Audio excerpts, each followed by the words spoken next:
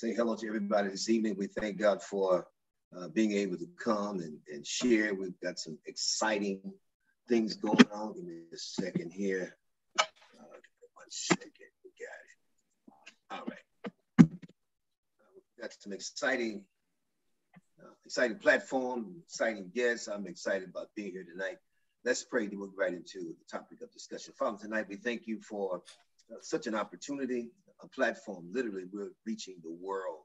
This is a global platform. So we ask you, God, to empower us this evening, uh, our words, our speech, give us wisdom, give us what we need to reach this generation. It's our heart's desire that should be glorified, that men's lives will be transformed for your glory in Jesus' name. Amen.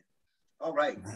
Brothers, glad you could make it on make it to on tonight. I want to again ask everyone if you please mute your phones uh, except for, uh, of course, our guests, and that is uh, Lou Brock and Keith Davis. I'm going to allow them to share and talk. Uh, I, I, personally, uh, I'm grateful to God for allowing me to be here today and be alive. And, and I have a heart for men. I have a heart for souls. And certainly, as a man, uh, I love to see men delivered and set free. And so this is my natural flow. we have my good friend, Mr. Lou Brock Jr., and I'll let, let you let him tell you who, who he is. The names the name says something. He'll talk about that, I'm sure. And uh, of course, our, our guest speaker for this coming Saturday and Sunday, uh, Mr. Keith Davis. They will go ahead and share a little bit about themselves, and then we'll get right into the meat of the matter. Lou, I'll let you go first. Uh, thank you, Bishop. Uh, it's absolutely my pleasure to be here tonight. And uh, I can, uh, I really to talk about myself, but I, am excited to talk about Brother Keith Davis here because uh, it was back in 1984. We were playing uh, together at Southern Cal. Keith was a strong rock standing in uh, standing against the stream for the Lord. You know anything about a football locker room? You know you got a lot of strong personalities. You got gladiators. You got guys who you know that those are the guys that you want to get into a fight with and uh, and Keith was in the locker room and he was unbending in his belief in his faith in God. And Keith always told me, he said, Lou, man, come to Bible study. You got a heart for the Lord. Come to Bible study. He kept on me. Finally, I went.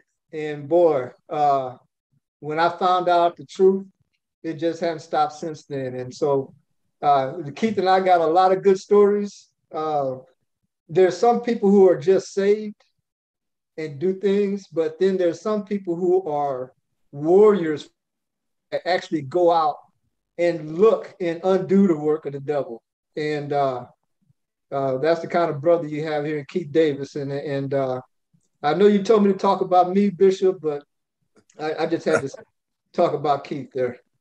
All right, so I'm gonna bring up the scripture, Bishop. Uh, the Proverbs, it says, let another man praise you and not your own lips. So let me talk about my brother Lou. Let's talk a little football first. Uh, we know the brother's name, but I just want to say for those who don't know, Lou was one of the fastest defensive backs you ever saw in your life. I mean, he was like a, a gazelle running across the field. And then obviously uh, after playing at Southern Cal, and Lou, you were in that one Rose Bowl with us, right? You were in the Oh yeah. 84, well, the yeah, first yeah. one. Yeah, yeah. yeah yes. So so we had a couple of up and down years at USC. USC has always been, as you guys all know, even there in the Midwest, uh, a perennial powerhouse. And Lou and I played in one Rose Bowl together. I got a chance to go in a couple of other ones after Lou left. And then Lou was drafted um, very, very high by a team called the San Diego Chargers, which I guess they're pretty good now, Lou. right. And then uh, and and then obviously, as he mentioned, man, uh, for all the brothers that are on the line, we we we uh, we were very passionate about the game of football, which so many men are, uh, and very passionate about our faith in God. And Lou mentioned battles, and football is a great analogy as a man because the thing about football is very different than many other sports. You know, baseball, you'll strike out, and then they say you're out after three strikes, but football uh, everyone gets knocked down, but the true test of a great player is how they get back up. Uh, it says a righteous man may fall seven times, but rises up again. And so all of us on this line are just learning how to rise up. And uh, And so I was an inside linebacker. Lou was a cornerback, and um, and then I went on after a USC. I went to a team called the New York Giants. Um, and at that time, it was a different era in football. So linebackers were really, really big and strong. So I was one of the biggest, strongest uh, players on the team at that time, and bench pressing a lot of weight. As Lou knows, I spent all my time in the weight room, and then just trying to be strong in our face. So it's just great to be on. And then Bishop, thank you so much. And for all other brothers, we're excited just to have a little time to encourage one another in our faith and in the Lord. Absolutely. Uh, Lou, of course, uh, a very humble guy. Lou Brock is the son of the great Lou Brock. He has the name Lou Brock Jr. So those that know, and no question about you know Lou Brock. So this is Mr. Lou Brock Jr. So I thought thought that out, Lou. I know you don't necessarily uh, like like keep that in secrecy, but I thought I'd put it out there. Well, yeah, we're gonna, we, will brag on him. We'll brag on him, Bishop. Just keep bragging. There you go. There you go. Absolutely. well, guys, listen. Uh, we're excited tonight. We're gonna be right into the meat of the matter um, talking about uh, the king inside of us is, is going to be our theme, is our theme uh, for this weekend as well. So let me just share uh, just a brief uh, overview or definition of the word king. Uh, the word king is defined as the male ruler of an independent state, especially one who inherits the position by right of birth. Uh, it is a male ruler of a country who usually inherits his position or rules for life. Um, I'm a, I don't play chess now, but I used to play chess. Let me let me say this. When I read the definition, the thing, the thing that stuck out to me was the fact that in both definitions, in this instance, the word that was clearly distinctive was that he is a male. So uh, again, it's clear that a woman, a queen, can't be a king. And in this instance, it says that the king inherits the position by right. Now, as I mentioned, I used to play chess years ago. I don't play chess now. But the most uh, powerful piece on the board in terms of its its uh, position is the king. Uh, you think about uh, chess, those who are chess enthusiasts, the one player that determines the rise or the fall of the kingdom on the chessboard is the king. And it is every piece, the rook, the bishop, the knight, the pawns, uh, every piece's job is to protect the king. That's a, that's an interesting thought. If you think about it, chess, they said checkmate and then check. Obviously, if you say checkmate, your king is threatened. Checkmate says it's over, he's immobile, he's done. So we're going to talk about the king tonight. We're going to talk yes. about the king and us. All right. Uh, we are uniquely, distinctively different as men, and uh, we're going to talk about that. So uh, let's get into um, uh, the topic. Number, uh, number one, we'll talk about social challenges men face today. Of course, we deal with uh, stereotypical portraits of men, the media, the culture. of course, some was referenced men in terms of having a high sex drive. What we want to do is talk about sex. Uh, uh, this superhero perspective, strong. You know, you got to be strong. I was talking to Keith and to uh, Lou earlier because uh, I'm a little older than most of you guys. Lou and I, well, I'm probably older than Lou too. But I remember, y'all probably remember, uh, most of the movies we watched, particularly as African Americans, uh, our roles either was a slave or we'd be the first one to die. We very rarely would see black men in uh, in in relationships and really showing uh, emotions. And so uh, let's talk about that. What what are some of the social challenges, Lou, Keith, uh, that we as men deal with? What are we in terms of racism, in terms of sexism? Let's talk about that. Yeah, I, I think uh, first of all, you, you mentioned um, the image that we even saw among ourselves, you know, growing up. So those social challenges, obviously, from a righteous standpoint of just providing for our family, um, and then obviously the social challenges of um, you know, our, our, our, our testosterone, our sex drive, uh, and then black men, maybe they have a, there's a preconceived idea among other people of violence or whatever that may be. But um, I think one of the things I, would like to just kind of highlight on is just that uh, that that that uh, that that image of uh, uh, of a of a, of a Christian. Lou mentioned something at the beginning.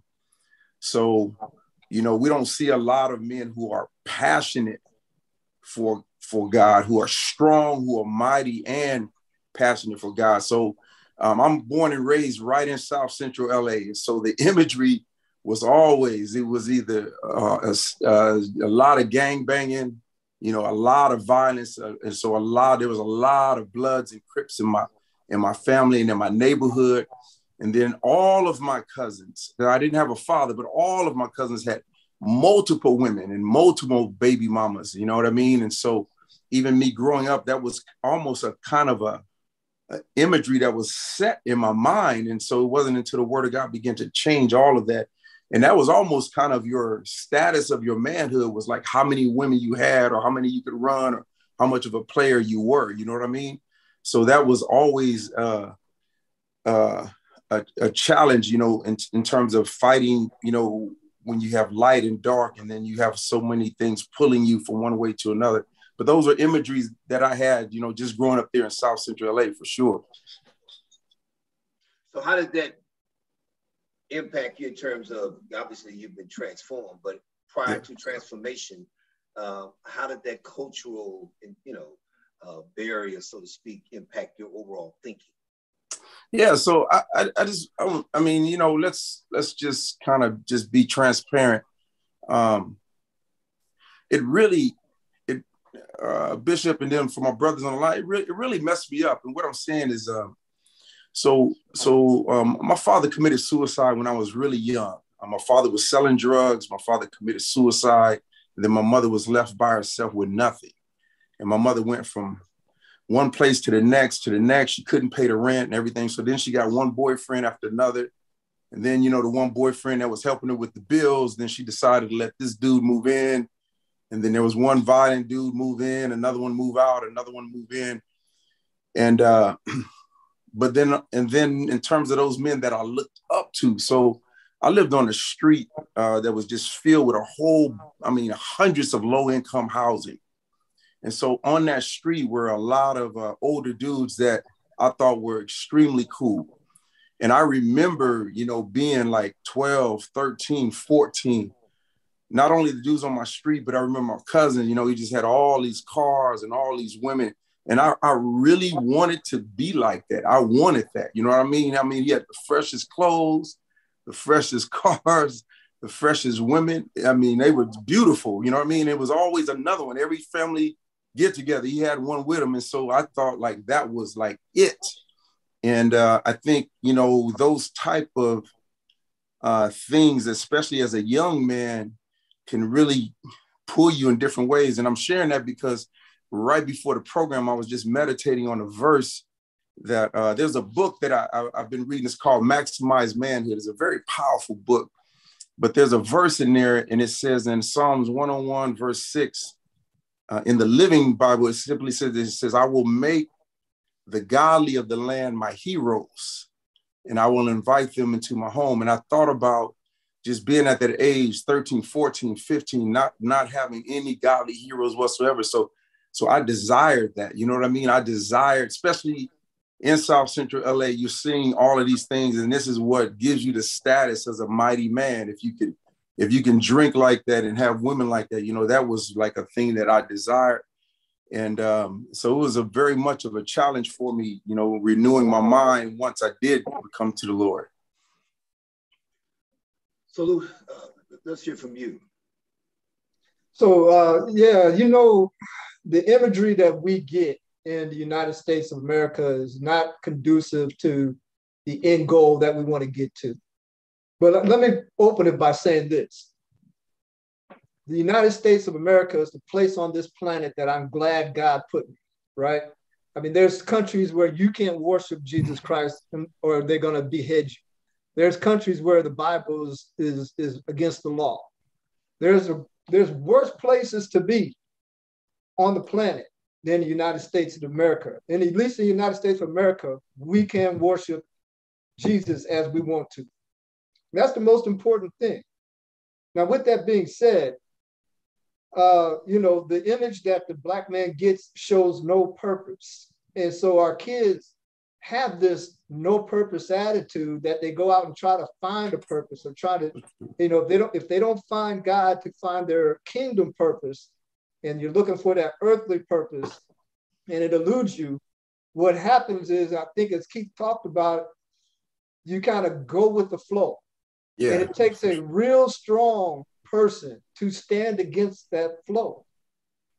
And if we want to make substantive change in our culture, we have to stand against that flow.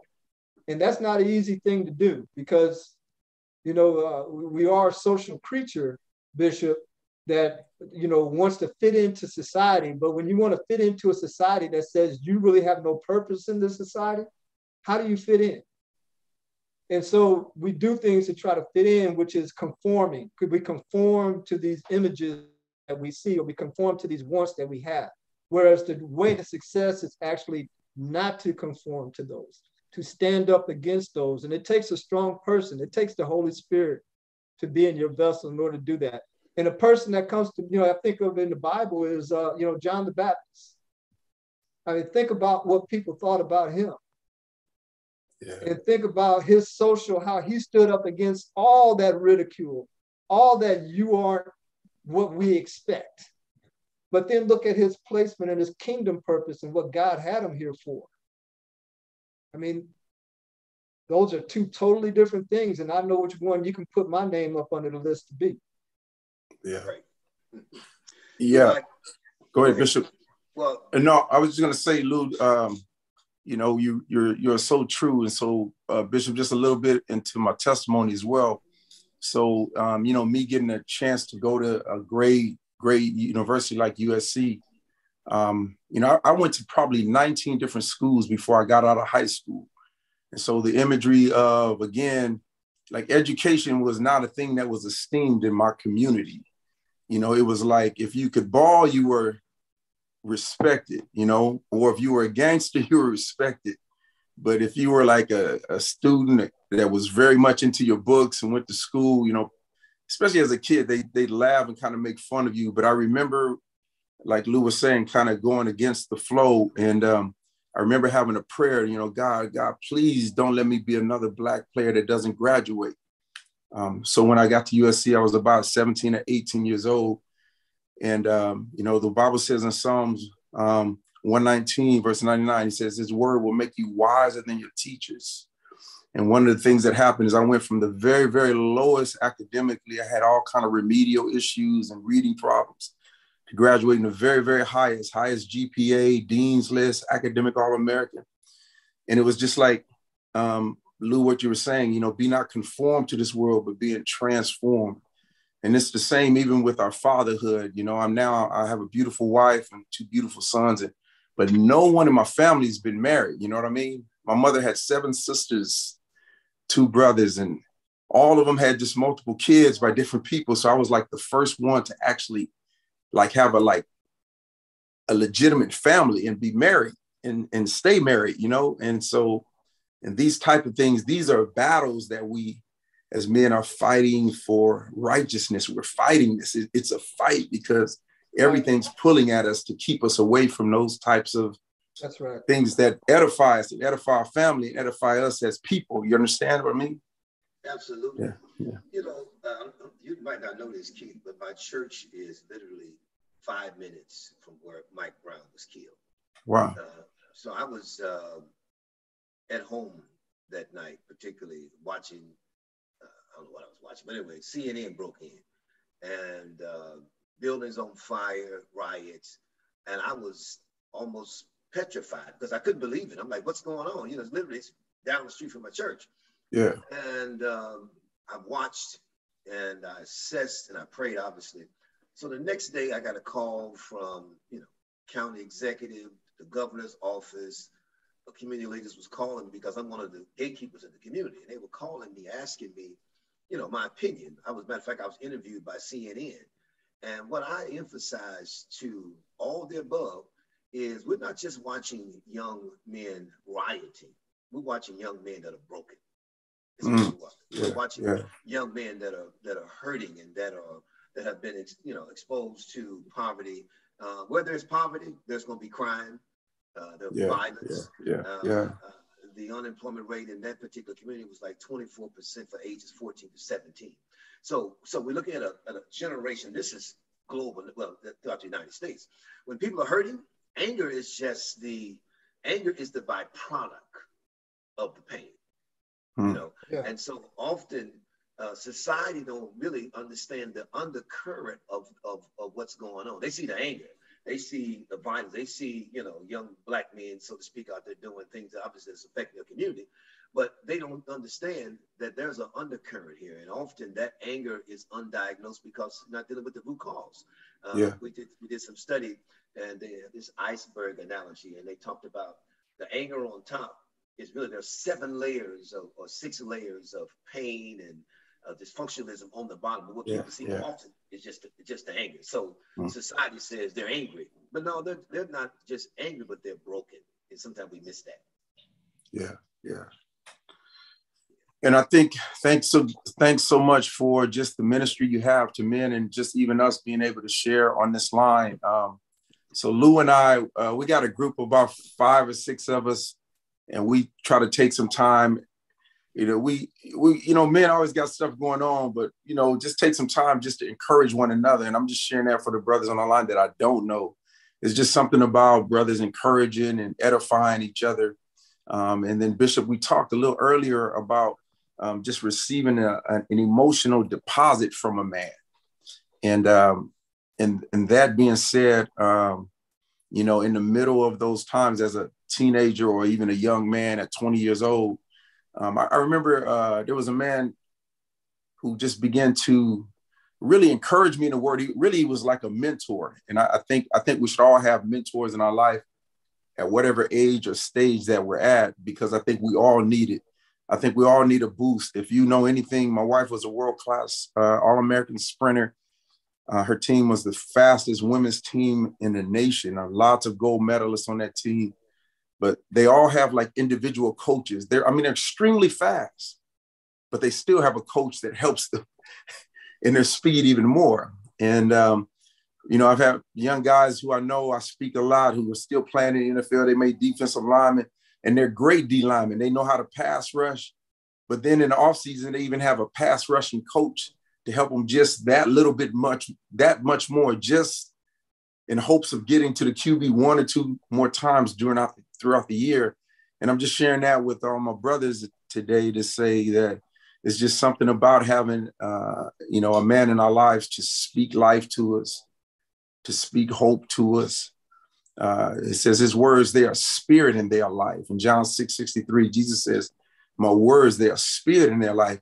And sometimes we as men, we we we we can lose our spirit. I mean, we got job hitting us this way, maybe wife hitting us this way, maybe we had a outside relationship and now we have a child with somebody else hitting us this way and we have financial issues hitting us this way. We got all these things hitting us but you know we want to still be filled with with joy and with hope so that it can flow out of us to our families and to our kids. But sometimes we just need a boost and so uh, it's good and pleasant like the bible says for us to dwell together in unity even if it's on zoom you know?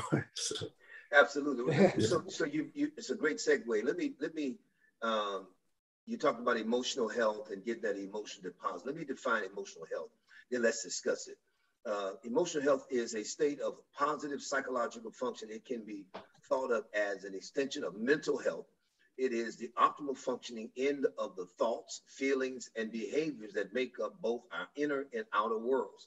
It includes an overall experience of wellness in what we think, feel, and go through both the highs and the lows of life. Now, that's the comprehensive definition of mm. emotional health. But in layman's terms, as you just referenced, it is it is receiving that emotion deposit from a male species. So mm. that's why it's important. Uh, so I was I was raised by my stepfather. Now he was he, you know he was a phenomenal provider, but from my sports, never my games, uh, my wrestling matches, uh, never that impact in terms of emotional deposit. And so I grew up. As a matter of fact, I didn't really get healed until I was like 35 years old because I longed for my father, my, my biological father. Uh, but again, I made a decision that uh, I'm going to be uh, present for my kids, number one. And of course, having grandkids, you know, I'm present with them because I understand that, particular my four grandsons, that I, I, I can do what their mothers cannot do. I can, mm. I can make a deposit that uh, that the women cannot make. And I respect women and what they do. We, we take our hats off to the women who have been uh, pillars in our lives, but a woman will never be a man. So yeah. let's talk about how important is it, Lou, if you can answer this question, uh, to receive an emotional deposit from a man. How important is it? Well, I think it's very important. You know, uh, I guess to keep the theme of the the flow. You know, if you have men and you go into a flow, it's it's easier when everybody's on one accord, and it's you know, you know we're talking about football, so let's talk about it from you know terms that people would understand. Keith talked about how he and I encourage and uplift each other now. And we've been to battles together, right? we prepared for battle and we battled together. And in those battles, there's a lot of emotion. And those battles aren't just on the football field, but being in that, we are able to now have the avenue the confidence in each other to deposit into each other. Because if I didn't have the, that that experience with Keith, then what he says to me now comes to me a different way. And so let me give you let me give you a story real quick that I hope will really you know uh, make this gel. There was a night uh, at USC where uh, the team chaplain come. Well, I think Keith and, and two other brothers uh, three other brothers. We were all sitting in an apartment. We were just playing games and talking. And the team chaplain called us and said, Hey, let's go up to Westwood. And, uh, let's do some street corner preaching. And we were like, Well, you know, we're not doing much else. And I was a pretty new Christian. I didn't know what they was really going to do. So I'm just going to go out there and, you know, try to see what's going on. So we went out to Westwood, which if anybody knows what Westwood is in LA, it's kind of like the the end spot, you know, up by Hollywood, in between Hollywood and UCLA, and you'll see everything out walking around at night. So he went to the corner and he just started to get a crowd. He was saying, Hey, who wants to raise hell? We're gonna raise hell right here on this street corner. Come on, get a crowd up. And he, he got about, you know, just talking that way, he got about 40 people to stop. And they was all screaming, Yeah, let's raise hell. Let's raise.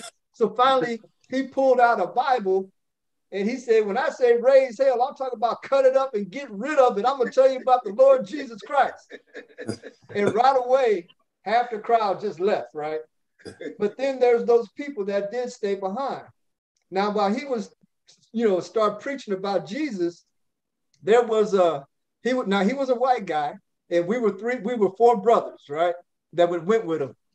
And uh, this guy's pulled up a, a crate, like a, a wooden bat off of a crate. And he was sneaking up behind the guy who was street preaching, and he was going to whop him with this bat. And Keith, looking like the Incredible Hulk, you know, he was bench pressing 525 pounds back then, right? Neck come from his ears down to his traps. That little guy was sneaking up behind Tom and was just he was about to swing. The Keith looked at him and said, "What you gonna do?" Man, that little guy thought he, he said, wait a minute, this big old brother's, oh, please, Mr. Sir.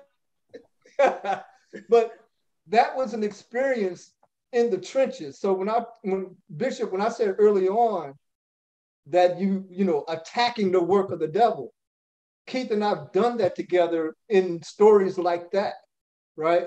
So when you have that camaraderie amongst men, then it's much easier now when, when Keith, uh, you know, when I was having some challenges at the end of last year, Keith didn't know about it. He called me, we were talking, and I told him about it, and he's like, man, look, we just gonna believe God right now. Let's just pray. Right. And airport, yeah. And so those are um, divine appointments. Those are divine relationships. I think those are set out. You know, Bishop, you and I have a divine relationship. Okay. And I think that men need to find their di- divine relationship, those relationships that were intended to exist and to benefit the kingdom before we were even born. Absolutely. The Bible says iron sharp as iron. And yeah. to your point, um, again, listen, brother, let's keep it real. We need each other. As you said, mm-hmm. you, Keith has been there for you, you for him. You and I have a great relationship. We need to be able to be authentic with each other. Uh, that deposit, in terms of the mental deposit, comes from being authentic, uh, connecting with one another, being transparent. Let's keep it real. As young folks, keep real. 100. No sense us faking. Men, listen to me. Men lead the nation in murder suicide. Mm. A man is more likely to go into the house and kill everybody more so than a woman. Now, a woman, mm. she, she might get you, but she's just gonna get you. But men, hit me today. They because we tend to internalize, you know, our situations. We keep it to ourselves. We suppress our emotions. We're gonna talk about that in a minute. So that's not healthy for us. And I was doing some study the other day, and it stated that uh, 80% of major illnesses are stress related. Listen to this stress shrinks the brain. Number one, as you get older, the brain shrinks, and then stress just perpetuates that, that shrinking of the brain. So it's really important that we have an, an access or have an exit ramp, so to speak, to get off the ramp where we don't commit suicide, but we don't have a nervous breakdown, where we're in a weak mode, we can call someone and talk about our issues. And so that emotional deposit is critical, and especially for us as African American men, because we need each other. Yeah, uh, Bishop, if I can kind of add to that as well, uh, and this is just for all of my brothers on the line that have children also. So we definitely need each other. That is without a doubt. Um, and a lot of men don't have close relationships for whatever reason. I mean, you know, very much of us are, are guarded. Again, we have our own ego and personas that we have to keep. And it's, it's very hard for men to kind of get past the peripheral and to come into kind of that covenant relationship.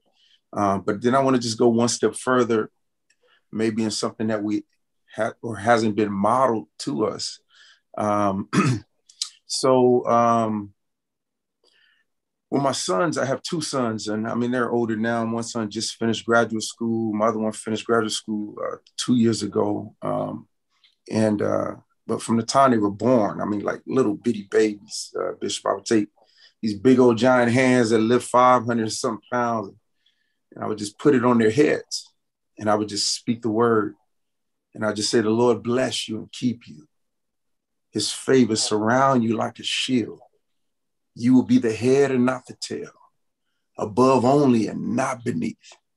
Blessed coming in and blessed going out. And I speak, you know, I just, I just had a whole, I had a little sheet. I would just write words that I felt were good inspiring to me and for them. You know, in the book of Daniel, chapter one, I would like, I would speak, you know, you're well favored, apt in learning, able to stand before kings.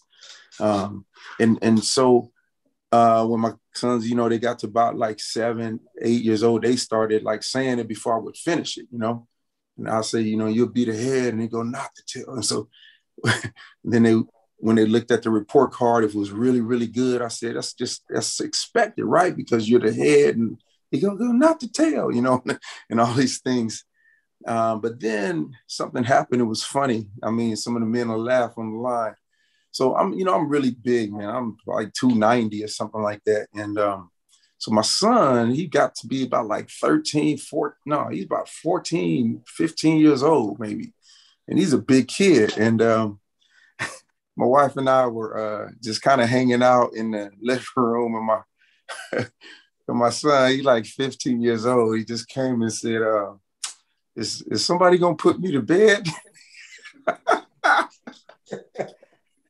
He's like, you think of like a 15 year old saying, "Is somebody gonna put me to bed?" but really, what he was saying was, "Can can you bless me before I go to bed?" my God.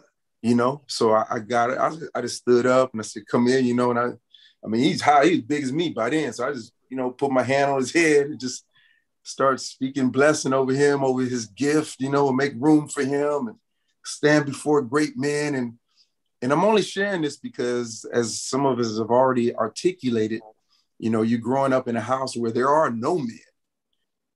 You know, and then the men that were there were extremely just ungodly, brutal, violent, everything you could think of, the opposite of what a father should be. And so now we have this word that we're reading. It's like a mirror in us. And and it's a lamp to our feet and a light to our path. And so, that being said, you know, in this hour call that we have, one of the things that we all can do is even if we don't have an emotional deposit, maybe we don't have an older man in our life or have a friend, but we can just make that from this point on at least. I'm going to put an emotional deposit into my son or into my daughter, at least for now. You know, and it, it that be something formal. I mean, it can grow into something like, kind of like I was saying, but just some type of way. Let's impart something like that because those words are not just words; those are living, quick, and powerful words. So, I think it's just a word encouragement for all of us as men because. And then if we get into black men again, as we were talking about, you know, just many of us have had, um, you know, there are hurdles to jump, but a lot of us as brothers have jumped hurdles that seemingly people said we can't get over, but we're getting over and we're moving. We're at world record pace. And so let's let our children begin to jump the hurdles even better and then let their spirits be healthy and inspired and up, uplifted. So, anyways, just my word of encouragement for my brothers. Yeah. So, Bishop, I would, I'm just going to have something real simple. If you think about what Keith said, you think about what you said, and draw that back to what you said in the beginning about kings Yes, yes, a wow. King, yes, yes. A king has to accept the responsibility. If a person if a person is born as a king and he doesn't accept the responsibility, he's not the king. Hmm. He resigned his throne, right? So I think the, the first thing that we're talking about and what Keith was just sharing is that he accepted the responsibility. Yeah. And I think then you can be king. Once you accept the responsibility, then you can be a king. Absolutely. Mm. You know, as you were talking, Keith, uh, you know, because I'm the father of three daughters and because the wife, um, I was, I had to I had to stretch emotionally because there was a pull on me um, from the wife and the girls that I didn't have the capacity to give them, quite frankly, mm. because because uh, you know, mother single parent, she worked, you know, she just she was a provider, you know, so she would yeah. grow up saying, "I love your son, love your mother." Yeah, yeah, yeah. We got older, but so I was challenged in being a pastor. My girls would say to me, "Well, we don't want the pastor, we want our dad." And mm. I'd be like, you know, as a disciplinarian, as a man of order, structure, you know, so I was somewhat disconnected, but they challenged me to to take off these titles and these hats and who you are to people and be our father. And so with that challenge, I had to get, I had to develop emotionally because I didn't have the capacity. And mm-hmm. frankly, mm. uh, to your point, I didn't know how to be an emotional deposit. Yeah. Didn't know how, but through the Holy Ghost and humility, and I had to, you know, we have this somewhat this self righteousness about us. We, we we're providing, we're paying the bills, all that stuff. Yeah. That's that's, yeah. that's that's that's fundamental. You know, when it comes to being a man, there's another angle here, and that angle is now we have to learn how to how to give ourselves emotionally. So I had to develop that capacity uh, that I didn't have, and God helped me. But it was a tearful process. You know what I'm telling you? Yeah, yeah, it was very yeah, painful yeah. because I had to go against, you know, this state of, well, I'm a great father and I do this and all that. They didn't care nothing about that. They wanted me to be able to, as a man, give them what they could not give themselves. Mm. Wow. As okay, if I can just uh, elaborate a little bit on that um, for my brothers on the line, I, you know, one of the things I do, um, I started way, way, way back when I was in college um, I have a program around the nation where I'm I'm literally, I don't know, I've probably spoken in more than uh, 25,000 schools throughout the years uh, in 63 countries. And I'm getting to this for a reason, Pastor. So you imagine 63 countries from Africa to Nigeria to South Africa to Egypt to Japan to Australia to everywhere you could imagine. 25,000 schools or more. I can't even add it up. Millions of young people.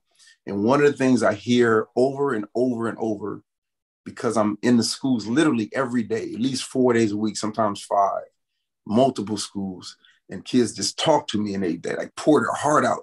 And I hear that from the young ladies, Pastor. Exactly what you were just saying. You know, my father, they they want that.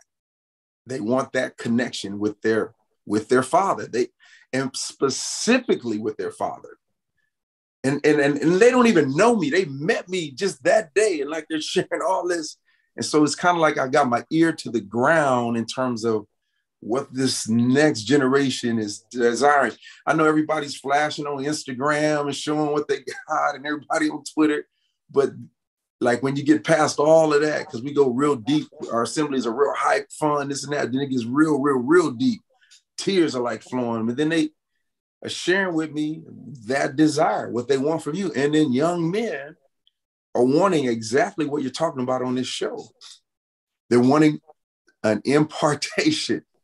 You know, they, they might not say an emotional impartation, but they're wanting a, an emotional, spiritual, relational connection with a man who has their best interests at heart. Yeah. A man who says, you, you got what it takes. You know, you can do it. So it's really, really, really powerful time because there's some healing that needs to take place. And I think that's one of our prayers. You know, we pray for all these things, but I'm I'm really sometimes I say, God, help me to pray for the things that you want. You know, help me to help me to see the way you see. And you know, I, sometimes it's real. I even people speaking all these different languages, and I have translators that are translate. And even through all languages, I can still feel the emotion. It's the same thing you know, and whether they're wealthy or poor, it's the same thing. It's just this one thing, you know. I think about the verse in um in Joel, it says, multitudes, multitudes in the valley of decision in the dead Lord. So multitudes, and then there are millions of men, black men, who are not maybe on this call, who are desiring the same thing, that connection. They're desiring, we're all we're desiring that we're desiring to be built up. Now I know God gives it to us, then he gives us divine relationships, but but we we we we we really have to fight for this thing. As you said, like a king, we really have to we really have to push forward to press in to try to receive that thing we're hungering for. We're hungry and thirsty for it. Yeah, we got to fight for it. So, in Bishop, yeah. you said that earlier. It gets a fight. It's not yeah, easy. Yeah. You know, the, the the easy road is heavily traveled and it leads nowhere. Right. And you find everybody can take the easy road. Easy with the flow. It's hard to stand up. And what I would say to the brothers on the call here is that, you know, even if you didn't get that emotional deposit from the generation above you, as Bishop was saying, he didn't know how when he first, you know, got the challenge to do it. But if you just say the buck stops here, right? It's gonna work from what happened before where I didn't get the deposit, that's okay. God help me from here to make the deposit as I go forward from here. And start it. Be the one to start it. You heard Keith talk about how he was the guy who his family that was the one that started the family unit and started yeah. the educational experience. Be the person yeah. to start the emotional deposit in your lineage. And let, yeah. and let God be the one to teach you. You don't have to have had a human teacher above you, like if your father wasn't in your life, it can still happen. Hmm. Yeah, start a start a new tradition, you know. And, and That's right. To, I listened to Keith. He was saying even some of the wealthiest kids. So apparently, money is not the answer. no, it's so true for real. Yeah, definitely true. Yeah. I, have that's that was actually the biggest wake up call for me. Um, again, you know, just getting the exposure that I have in terms of like every day. I'm, I'm, you know, once one day I'm in the inner city, the next day I'm in the suburbs, the next day I'm in extremely wealthy place, next day I'm in in the rural area, and the next day I'm in some foreign, you know, place in Brazil or Bolivia, or but the the money part was really the wake up because I began to see, and you know, you don't grow up. At least a lot of us hadn't grown up around a maybe Lou, but I'm messing with you, Lou. oh, you know, but I'm saying a lot of us didn't grow up around a lot of wealthy, uh, you know, in a school where everybody was wealthy or a school where everybody had everything and everything. And then I began to go to these schools and I said, man, they got more needs than they got more needs than our schools over here in South Central LA or Ferguson or wherever else. You know, it's just really amazing. It's just all peripheral. You know, everything looks nice on the outside, but man, it's the issues that parents are going through, and then just this, this, this, this uh, void that we have. I know it's a cliche, you know, there's a God-shaped vacuum in us that only Christ can fill, but it is really true. There is a vacuum, and people are trying everything they can to fill these gaps that are in their lives, and uh, and so we as men, whether we have children or not, maybe you got nephews on this line, maybe you got cousins you know, even when I didn't have any kids, I remember my little cousins and nephews, and some of them, you know, their mamas was smoked out and stuff was going. Man, I would just pray for them. I would just grab them and pray for them. You know, if I had four, five dollars, I'd give it to them, try to help them. But but it was just trying to be there for them, and and um, and I think all of us can do that just with our families and with our church. Because in our church, there are a lot of single moms who are trying to raise these boys and we can be that kind of in between we can be that that bridge you know that gap. Because the really the reality is the way i started really reading the scriptures and learning it uh, maybe i had some books that inspired me but i remember there's this one man at this church and he just felt like it was his calling to kind of um, connect young inner city boys together. So he'd have different events and then he'd uh, just only the young, and the church was predominantly black, so it was all young black men. But he had different events to kind of get us together. And we were all like 16 years old, 17. And he would always share any question we ever asked him, he would never answer it. He would just give us a Bible verse.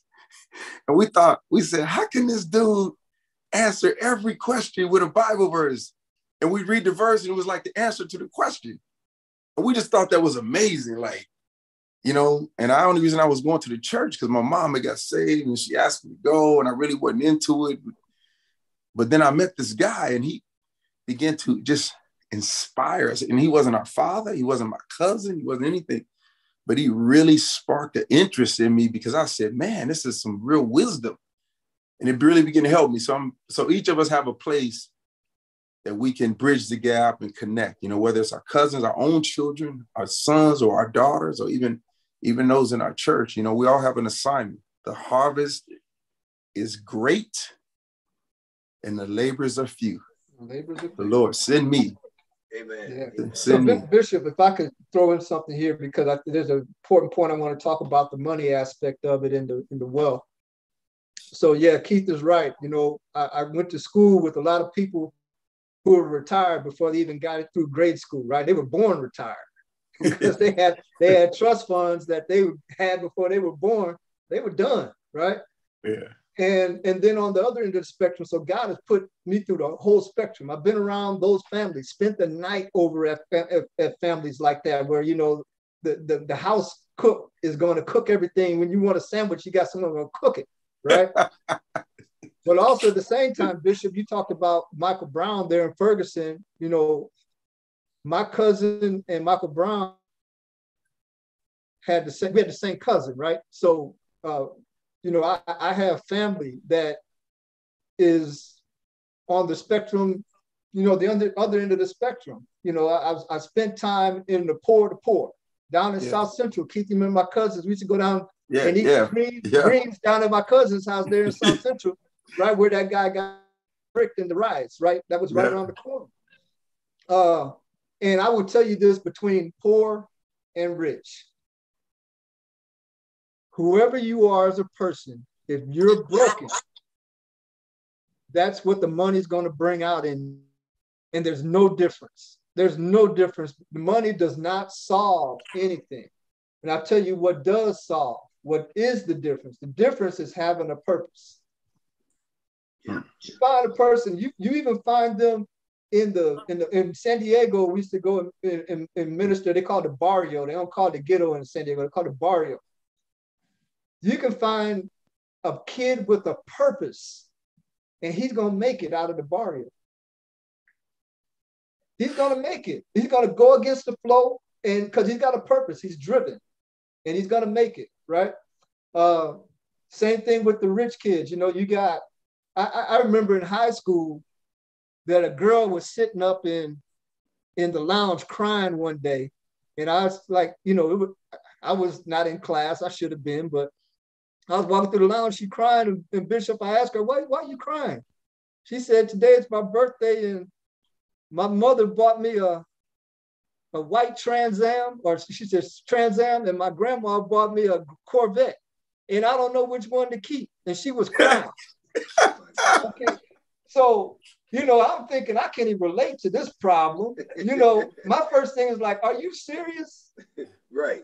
But to her, it was a big problem, right? Wow. To the point where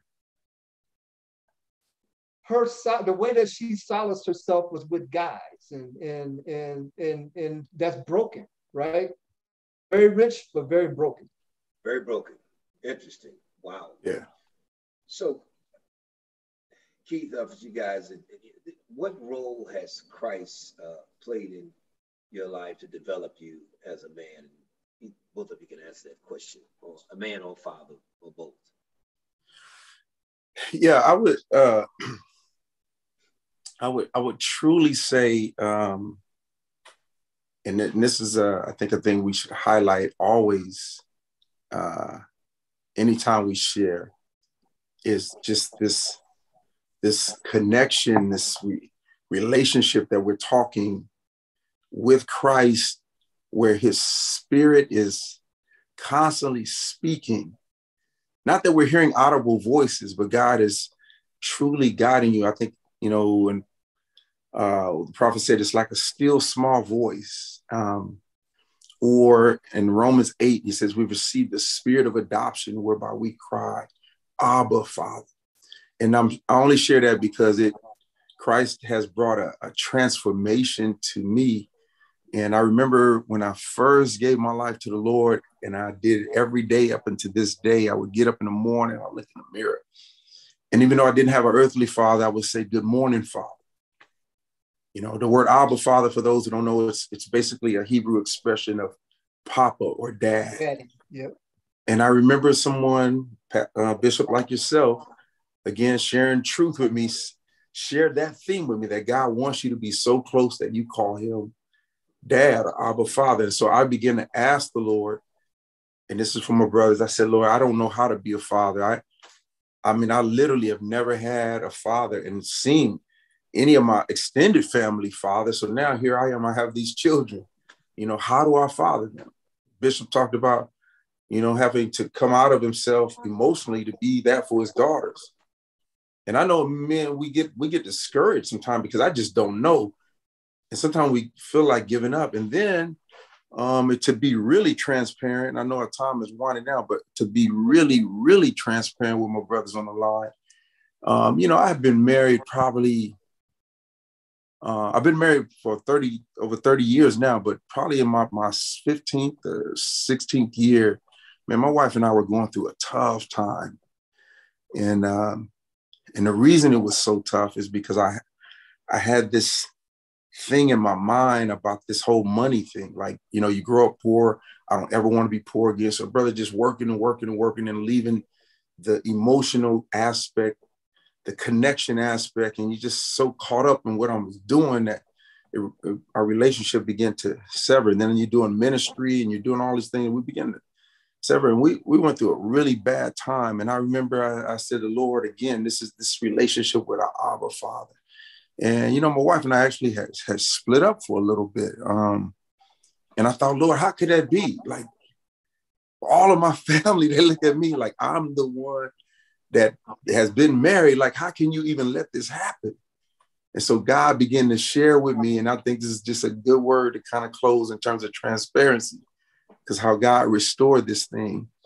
God began to share with me how to repent, like how to how to how to, uh, if you look in the book of Nehemiah, when he began to pray, he prayed, Lord, we've done all these things against you. And as he prayed, he began to pray, We've turned our backs against you, we've done this against you.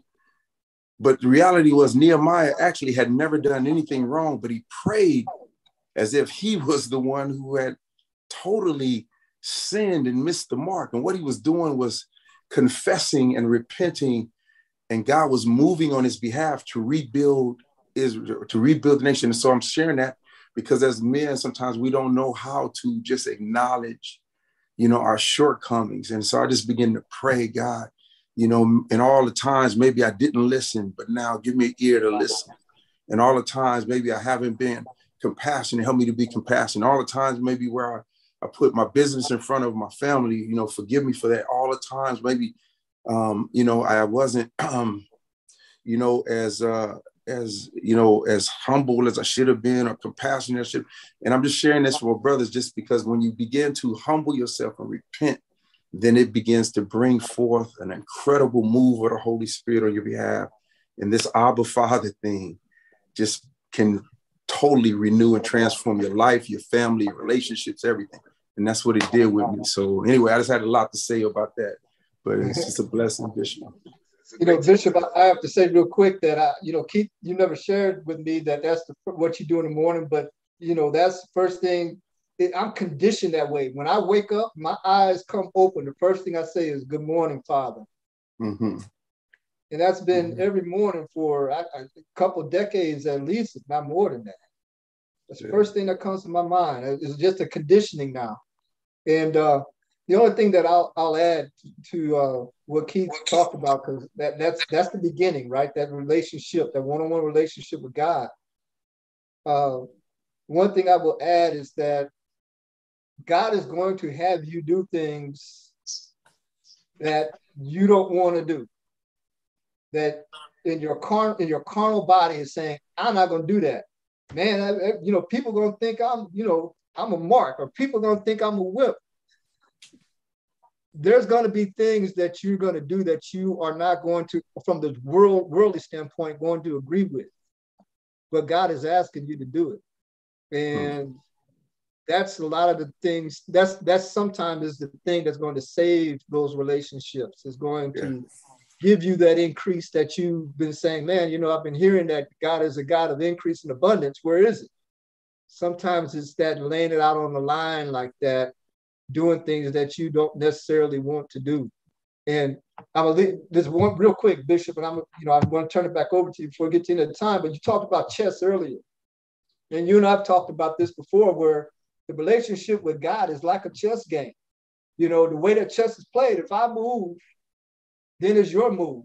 And I can't move again until you move, right? And, and if you see how God interact with the prophets throughout the Bible, he gave them a commandment. They moved, he moved. And that's the relationship wow. with God. He has you move, then he moves for you. And there's so many times, even you know, ministers and, and people you think are really, really strong Christians, they keep saying, God's moving on my behalf, he's moving on my behalf. And where when when move, you know, That, but it's always a good thing. It's always this great thing. And it's always God. But God is looking for us to have that transactional relationship. He moves, we move. He moves, we move. But guess what? Mm-hmm. That first move is ours. And that's Absolutely. yes to the Lord Jesus Christ. Absolutely. You know, but as you're speaking of, again, the choice, we have a choice to make. I made a choice uh, 43 years ago young Andreas is on the call. He was a young, much much younger man than at the time. Uh, but I played ball with his uncles, and we grew up in a community called Walnut Park. It's it's like Beirut now. Though. It's a whole different animal, but it was still back then. It was a lot going on. Uh, but I was one one of the individuals that made a choice to uh, give my life to Jesus. That was 43 years ago. Uh, many of my friends died on those streets with the prison, yeah, yeah. and all that stuff. But I was one of the ones who made a decision because the way I'm wired, either I'm in or out, black or white, so to speak. So once I locked in on that Friday night, uh, 43 years ago, and they know my story, dope in the car, and you know that night I made a decision, and, I've been serving the Lord ever since. But to your point, I had to make a move, mm-hmm. and that move perpetuated to me making more moves. And to this day, like Keith just said, uh, and you said every morning I thank you, Lord, for another day. And so I start my day off out, brother, with making sure that I make that I let God know you're number one in my life. And that'll never change. Let's be clear about that. But I had to make a movement. And so I, I, I say to the brothers on the line, and, I, and I'm thinking about something was said about the young men. You know, what can we do to impact this generation? What can we do to really be a mentor to the folk in our local churches? I, you know, you all were speaking, and I frankly thought about what are we doing in our church, you know, currently to reach these young men you know, we, we sometimes we spend time with men, really don't really target the young men like we should. And I think that's a challenge we all should take up on ourselves. And I, I thank God for Keith and him being in the schools. But I think the local church can do a better job, quite frankly, in reaching these young men because they need us. They need us. And I think it yeah. starts with us being relational and really showing an interest and uh, making sure we make ourselves available. So I thought that was great, Keith. You, you, you really yeah. uh, uh, provoked a thought in me as a leader. Well, guys, listen, it's, it's 659. Um, this has been uh, great. I hope you all have been blessed, empowered, inspired. Uh, we're excited about Keith, uh, you being with us this coming Saturday morning. Of course, breakfast starts, I think. What time does breakfast starts, brother? Help me out, because uh, yeah, Quinn, tell us. What, give us, give us I think it said 9 to 11. promptly at 9 o'clock promptly at nine o'clock. Nine o'clock. Okay, good. So breakfast, uh, we still got uh, time for you to, to, to register, by your, your tickets for the for the brunch or the breakfast, and of course Sunday morning uh, Keith will be speaking again. So I'm excited about this week. I'm, I was excited about tonight, and I know this is not just us coming together, but we've been empowered tonight. I've been inspired uh, in a great way. Uh, I'll give you guys an opportunity, Keith and uh, Lou, to give final remarks, and Keith, you would please close us out in prayer. Sure. So Lou, I'll let you do the final remarks and then I'll close with prayer. Well, okay. So uh, my final remarks are going to be about Bishop Scott. And uh, first of all, thank you very much for your obedience to God. And that's what I noticed about you when I met you. That drew me to you, me, uh, drew me to you was your obedience to God. And uh, you know what really struck me was how the the the church held church in the gym, because Bishop Scott said he wanted to have a place for those brothers in that neighborhood to go and and, and get that emotional deposit. You didn't say it in those terms, but that's what we were talking about tonight, right? Uh, for the neighborhood to have somewhere to, to go and do that. And that's a person who's committed. Uh, so, Bishop Scott, thank you for your platform and thank you for your obedience to God and thank you for making me a part of it. Glad to have you, sir. Thank you. And uh, Bishop, I want to thank you as well. And I want to thank all my brothers as well for taking time to just join us.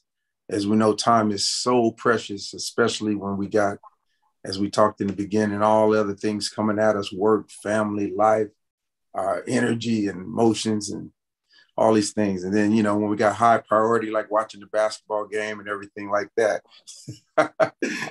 but God, God is good. So, my word of encouragement that I'm to pray as for my brothers, it's uh, First Corinthians chapter 15 and verse 58. It just simply says, be steadfast, unmovable. And Amplified, it says, doing more than enough. Being steadfast, unmovable, always abounding in the work of the Lord. For as much as you know, your labor is not in vain. And so, my brothers, just continue in the battle, continue to move forward. If we faint in the day of adversity, our strength is small, but God has made us mighty and we're strong in Him and strong in the Lord. So, uh, and I believe the breakthrough's coming for you, for your for your business, for your children, for your job, for your relationships. It's coming, and so we we agree together. So let me pray, Father. Thank you so much for the brothers together, and even those that I'll get a chance to meet uh, this coming week. Thank you for my brother Lou and Bishop as well.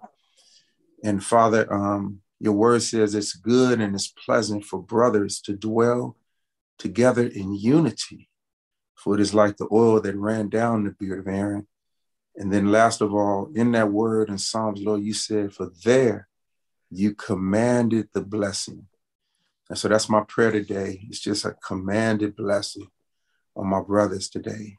Father, we, we really desire great relationships, but it is it is a battle, and kings love battles, and we love to win. So I pray that we, we would gird up our loins and we would win this battle. And I, I pray the commanded blessing on our children and our children's children.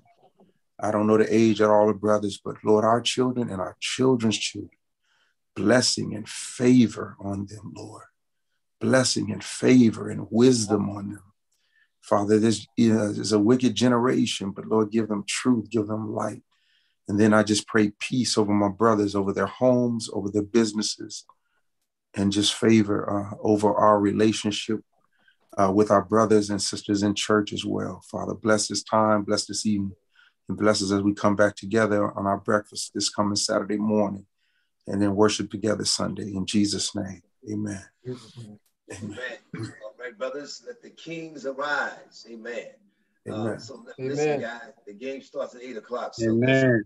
Uh, I don't know who is pulling for who, but I need uh, Boston to beat Golden State tonight. I'm not a Boston fan, but I need, them my Golden State fans. So, but I need Boston to beat them. I got a couple of guys in my church that wear Golden State underwear, so I need to. I need, I need Boston to win. hey guys, love you, appreciate you. We'll see you Saturday morning. Uh, I'm excited, and uh, Keith, we look forward to you and Louisville as well. So y'all be blessed. Have a wonderful evening. Thank you, gentlemen. God bless you. Hey. God bless you. Love you, Bishop. It's been a pleasure to meet you, gentlemen, man. It's That's really been a pleasure and an honor to meet you guys, man. And I'm looking forward to the breakfast Saturday to talk a little bit more about the topics we talked about today. But I want to let you know, you know, I love my bishop and I love the BTWF family, man. So I love you, brothers, man. And it's my first night meeting y'all. So I'm looking forward to more and more greatness that we are about to step into in the men's ministry at the BTWF. Excellent. We'll see Amen. you. Amen. Hey, uh, Bishop, I'm gonna give you I'm gonna give you a phone call right after we, we sure. get off this line, okay? Yes, sir. Yes, sir. Awesome. All right. We're praying right. for All right, Andres and loss of your brother and your, and your grandmother or grandfather. My grandmother and my brother. Man, listen, man, with our heart. Let's pray now. Father God, as we, we pray yes. for my brother, such a weight, such a load. We can't even imagine the pain he feels in his family at this most difficult time. And Father, we know by our own experience, you are a comforter and that you're certainly a friend. We ask you, God, look upon this family, let your presence be known. Give them the peace that only you can give them. We thank you now in Jesus' name. Amen. Jesus' name. Amen. Courage, Amen. We're praying for you, man. We're praying for you, Amen. man. Yes, Amen. Well, Amen. I, know, I know the Thank you, Bishop.